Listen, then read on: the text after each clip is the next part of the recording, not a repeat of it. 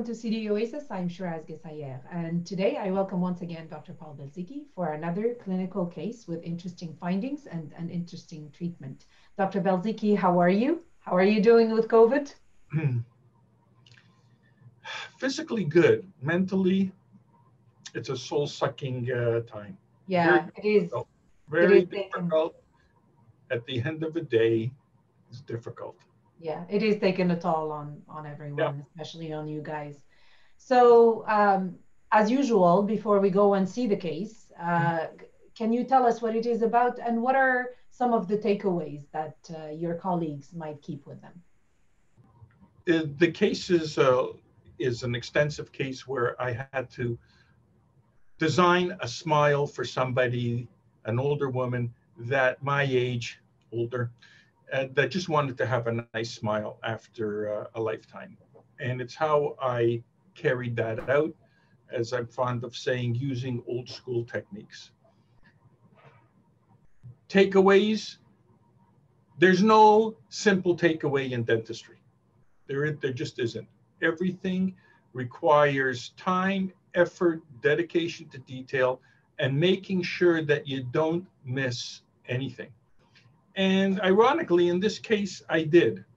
Fortunately, I caught it, and this will all be explained in the course of the presentation.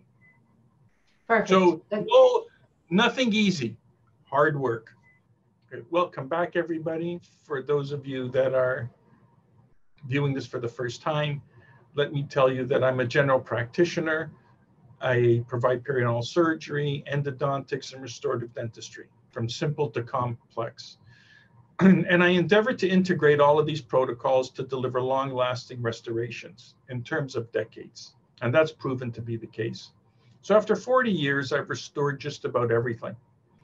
And hence, I'm able to draw upon a vast body of experience to solve unique problems that present to this office. I rely solely on evidence based protocols. And sometimes I think that even needs defining whose evidence? Well, usually materials from university faculties and their members, from textbooks and peer reviewed materials. That's what I rely on. I'm not a guru, there's no Belzycki technique. I'm a firm believer that success is a planned event where every step must be anticipated and executed with exactness. You have to keep on top of everything so nothing gets by you. There are no shortcuts to success. It's a hard job. And I'm doing it old school. So let's dive into this case. This is a person about my age, retiring, wants a nice smile. She's been with me for about four or five years. During that time, she came in and said, I really am not fond of my smile. I said, Well, let's fix up the posterior segments. Once we get that stable and we've developed a stable occlusion, then we can we can work on the uh, smile. And that's how treatment progressed.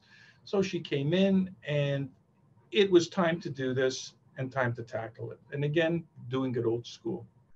So you have to start with careful analysis of what's about to happen on all your patients. So exact record keeping, thorough record keeping, if you will, is very important. So I, I'll, for me, that includes lots of photographs and I take these, number them, and they get included in letters to the patient, numbering them so they can follow, follow along. And she was having decay starting on this crowded cuspid from the mesial and the distal that was starting to be a concern. Asymptomatic, but it was starting to work through the tooth. There you can see it, I've magnified it a bit. Here are the radiographs. There's the decay that's present for her age. I, she's had some moderate bone loss, but it's it's stable. Tissue doesn't bleed. Really, not a lot of periodontal pocketing, except in those areas where the tissue's bunched up due to crowding. But the teeth are firm, and there were no perio or endo issues. We had talked about restoring the second quadrant, perhaps with some implants and sinus lifting and all the rest of it, and she just did not want to go for it. I don't want implants and I don't want orthodontics. I want this done seamlessly and I don't want to wear braces at the age that she's at. So I said, fine, but at least I have to present those options, which I did. And I still rely on stone models, study models, because I can work out problems. I can work on the patient without the patient being there essentially. So I'm still in the realm of stone models. We, we pour these up at the office. And I'm able to assess the case and the problems that are there. So here, uh, you can see that the cuspids are blocked out to the buccal there. And I thought, if I could bring that in, and this surface, if I can bring those surfaces in and take this lateral and somehow move that out I'll make a, unif- a more uniform alignment of the anterior segment and then play with the uh, with the dimensions of the teeth afterwards. So I just Photoshop what my vision is of what I intend to do and start carrying that out on the stone models. So stone models provides me a medium to find out what is possible. So here I've just shaved the buccal surface off and I've done the same thing on the left cuspid. I've just smoothed that off and then went ahead and built out that lateral and just added some more blue blockout material. This is just done very quickly just to find out what, what is possible, what I think I can do. Same thing on the right side. So I've taken these prominent surfaces and I just smooth them down and added blue blockout material. And this is my vision. This is what I think I can pull off in the mouth. And then I drew a sheet of plastic over it, acetate, vacuum form, and that will help in making my provisionals. The plan was to address the right side first, there was the need to remove that cuspid and then make a fixed provisional bridge so the person would never be without teeth. She could come in with teeth, leave with teeth, and just carry on as if nothing had happened. So now patient is in, and now I have to carry out that plan, that vision on the patient. So the first thing I did was just knock off the coronal part of the cuspid and prepare the teeth on either side. I did this in this fashion. I didn't want to extract that tooth first because then with the air rotor, there's blood going all over the place. I did this uh, in 2018 pre-COVID, but still, I also in trimming amalgam, I didn't want to force it into a socket. So I did my the majority of my tooth preparation before I removed that tooth. Then I did remove the tooth. I had noted decay in this area.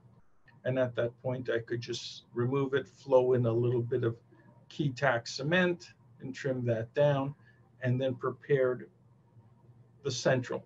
So I'm going to make a fixed provisional splint, immediate, using the central, lateral, and the first bicuspid, and then try to trim in a pontic cuspid that looked that would look reasonable.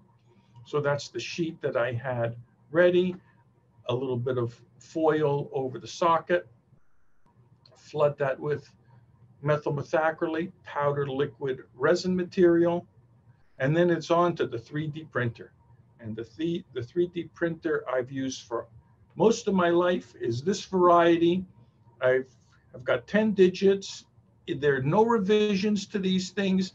They just they've worked most of my life without any problem. And yes as i've said often dentistry is a craft of the hand. So taking this block of acrylic using nothing more than an electric handpiece straight handpiece with a sandpaper disc i start knocking off all of the excess. And trimming away what's not required and making a provisional bridge making sure that I have good embrasure spaces for cleaning. And then that's inserted, cemented in, and the patient can leave. Now, this is the importance of provisionals that will replicate what the final design is because now a patient can go home and test drive it for form and function. Relatives, friends, people could take a look at it. You know, is it too big, too small, too too bulky, not bulky enough? It's always too something. I want to hear all of those and work that out in this phase because methyl methacrylate powder liquid acrylic allows me to add and subtract at will. I don't have to keep remaking provisionals for, for any reason. So she walked in like this, she walked out like that, happy as can be. And that socket has to go on to heal. She returned after a few months and we're starting to get some soft tissue closure. She reports back she's happy with the form, she's happy with the function. So I capture that in another stone model and now I'm going to go ahead and do the same thing on the left side. I've trimmed off some of the facial surface, added some blue blockout material, drawn acetate sheet over it, and tooth preparation, again, resin material, off to the 3D printer, start trimming it down. And this, this is the usefulness of, of good study models. And then I employ the computer between my ears. I just take a set of calipers. I measure what I had done for the right central and then transfer that over to the left central because I did bring this out a little bit. Now I have to at least make some uniformity uh, uh or the symmetry between right and left side. Little pencil line is scratched. And then after some trial and error of adding and subtracting and trimming, I finally stand back and I think, okay, I've played with it until my eyes are happy. I don't measure things. I don't look at ratios. It's just after all of these years, I've got to know what a uniform, decent smile looks like. And to my eye, this was aesthetically pleasing. And I had just made one little pontic here, a standalone um, cantilevered pontic. She had no teeth here, was not interested in an implant case, didn't want teeth on the bottom. She'd been like this long before she came to me. She can eat and function, so I didn't have to worry about restoring that segment. So this is the art part of dentistry, is what do you have conceptualizing, where do you want to go? So it's analysis and vision, the science part of dentistry is making durable, pleasing, harmonious restorations for a patient. And the provisional phase is not some slapdash event that occurs at the end of a long appointment. You're making you're making your vision into a reality and then allowing the patient to test drive that reality with the provisionals aesthetic cosmetic dentistry, I really don't like that term. As far as I'm concerned, there's just good and bad dentistry. But even what's concealed, even the prepared teeth have to be beautiful in terms of what form is correct, what protocols are correct. And you want teeth that are not over prepared. You've taken away just enough to make allowances for the restorative materials. You want gently converging axial walls for good retention and resistance form. So even what's hidden, there's an aesthetic to that as well. What is correct? So after several months, she has come back. The socket has gone on to heal. Uh, this material does pick up coffee, tea stains, and the like after five, six months. That's to be expected, but the patient was warned and understood that. And now it's time to get impressions to finalize this case. So after an extraction, there's usually areas that need to be addressed once again. So you have to refine the provisionals. Sorry, you have to refine the, uh, the prep teeth, and I did that. And my first impression, what I thought is if I can capture as many landmarks as I can to give the lab an idea of where the midline is, and the anatomy of the teeth, I thought it would be a good idea to take an impression with the provisionals in place on the left side and the prepared teeth on the right side. And when one does have to be honest with oneself. There was a series of posts uh, a week or two ago uh, by myself and another gentleman by the name of Nate Lawson expounding on you have to give a lab a perfect impression that is defect free. So that's what I endeavor to do. As I said, I've prepared that margin down. I don't need to remake the provisionals because this is methyl methacrylate powder liquid. So where I have created a gap, I can just take the existing provisional, hollow grind it, put in some more resin, pop that back on, and then off to the 3D printer, and it comes back and the margins are spot on. There's still retraction cord in there, which is why you can see a bit of the root surface. And then I had to go on and do that on the left side, re-prepare the margins. And this is the detail that's required to make a case. So I trimmed that away, added some more uh, resin material, popped it off, trimmed it up, making sure that there's good embrasure space so the patient can clean in between the teeth and obtain another two impressions of the entire arch of all the prepared teeth. Again, if you can't see the margin clearly, neither can anybody else. This is not a guessing game. You can't guess at these things. And often what I will do is flow some, after the impression's hard, I'll flow some new impression material in and around these teeth so that when it gets poured up, the stone is kept away from the margin so it doesn't get inadvertently damaged when the lab's separating dies and trimming these things up. I supplied a model of the temporaries and the lab knows and the lab I've been using for about a dozen years now, if not longer, is Prism Dental out here in Mississauga. And please replicate my vision. Here it is. I've given it to you. And notes, photographs such as, such as these are great to send back and forth. So the treatment plan is to make a four unit bridge in this area. I want to make splinted crowns on the 23, the 24, the 25, and then cantilever off a small little pontic to act as the 26. The 27, I'm going to remove. I just kept it there.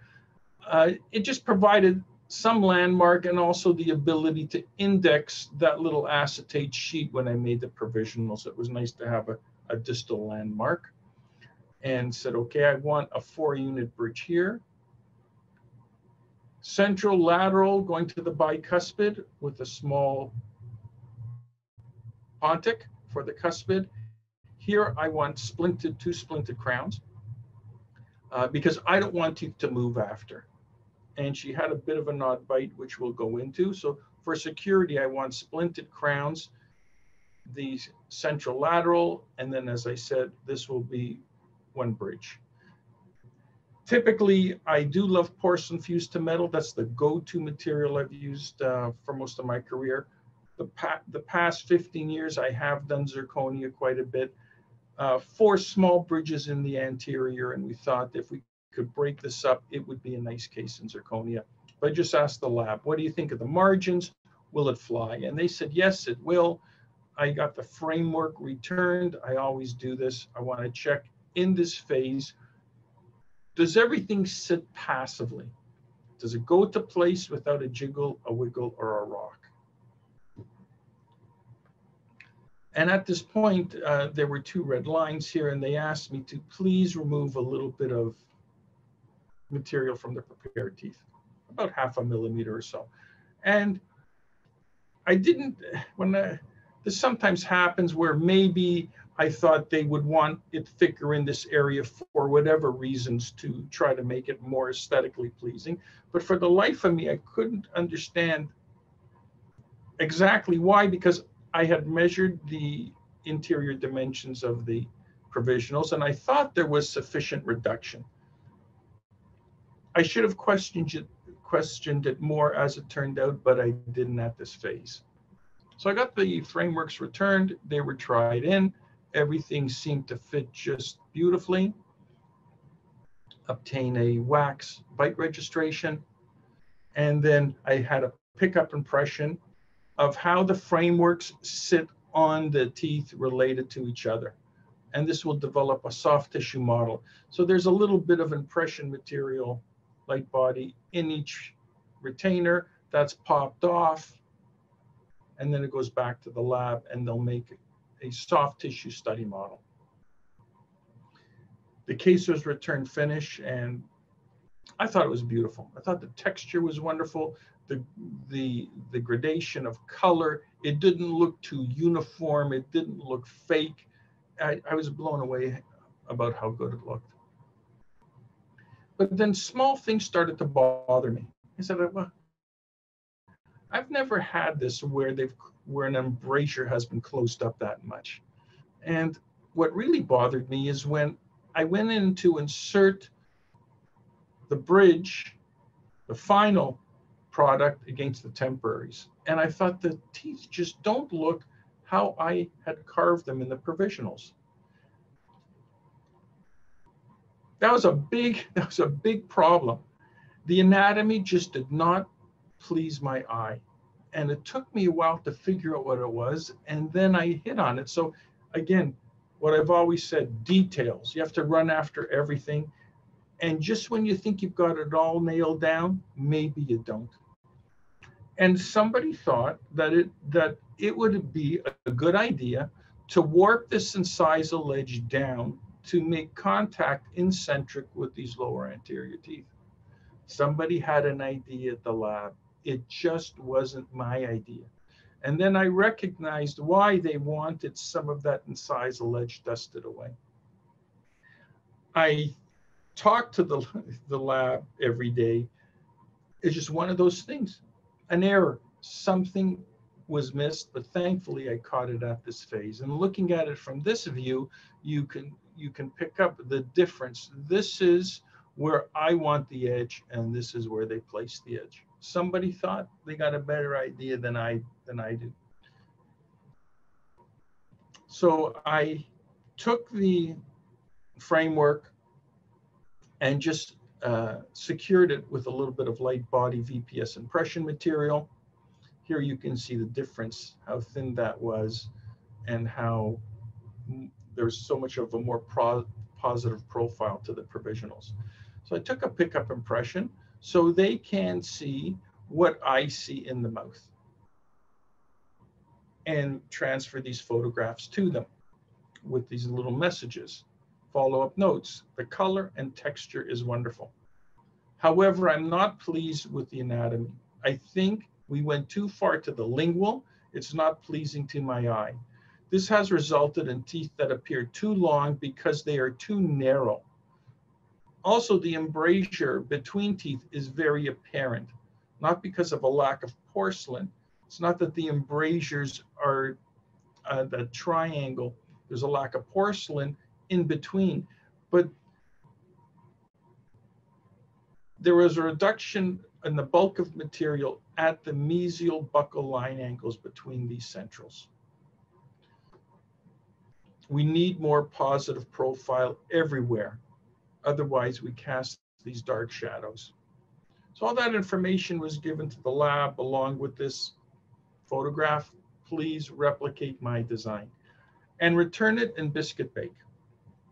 Don't return it finished. Let me see it just before glazing because I got to make sure it's spot on. So it took some time to start carving the anatomy that had proved successful in the provisional phase. Recognize, yes, it's a little bit stained. She's been wearing it for some six months now. So making sure that what I've carved will be in the final. There's the provisionals, those are the finals. Spend some time because I asked them to make it a hair bigger. I spent the time refining it as best as I could, sent the case back, and it was returned to me. And it looks beautiful again in terms of the color and the texture. So there's the temp There's the final and its mirror image. Now I can go back to the mouth with some degree of certainty. So it's replicating the provisionals. So here are the provisionals. There's the final. But even more so, that's what the original dentition looked like. So those centrals are often spaced for a reason. And trying to warp those back to meet these was just a non-starter. So now my eyes are happy. And if they're happy, typically the patient is happy as well. There it is from the occlusal. And as I said, happy patient. So with the biggest smile, you couldn't see that disparity in the gingival height, the attached gingiva, where it was higher on the, the left side than on the right side. So before and after.